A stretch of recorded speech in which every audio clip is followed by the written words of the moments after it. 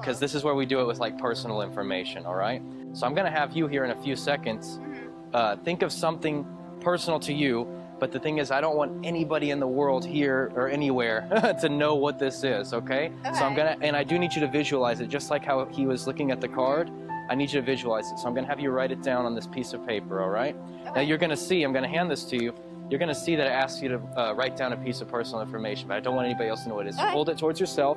Just read it to yourself and write down that one piece of information, but just remain silent while you do it. In the meanwhile, Isaiah will look at me and make sure that we're just uh, not listening or looking at anything that you're doing. And you just let us know whenever you're done. Yep. All right, go ahead and fold it back up how it was. Okay, yeah, just hold it just like that. Okay, now here's the thing.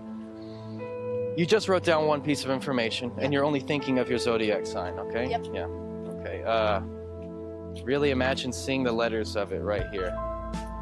You know what? I think I just realized something about you. Is I think that whenever you visualize things, you actually see them better as images rather yeah, than words. Yeah. visual. Yeah, you're a visual person. So you know what? We're going to do this a different way. So I'm just going to go ahead and we're going to get rid of this. Okay?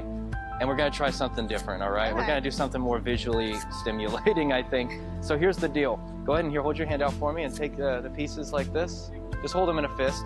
And now, since this is a visual thing, I'm going to have you close your eyes and really visualize something for me. I want you to watch this too.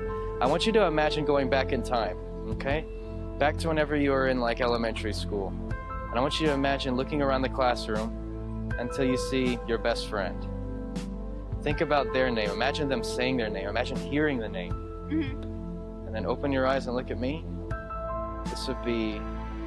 This is Lisa, yeah? Yeah. oh yeah. And that's that's yeah, that was your best friend, yeah.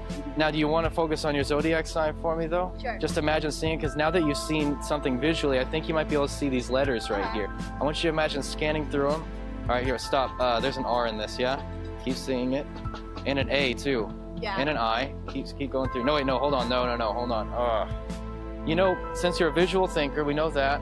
Uh, I think that you're also kind of a, an open-minded person. You're always interested in learning about new things. I would say that you probably be. I'm gonna write down what I think this might be. You a Taurus? Yeah. Yeah. Okay, that's good. I, I was going back and forth on two, but yeah. So thank you guys so much. Uh, Thank you so much. for It was letting me nice try to meet that. you. Yeah, it's nice to meet you guys. And enjoy the rest of your day. Here, I'll Thank take you. that oh, for you. thanks.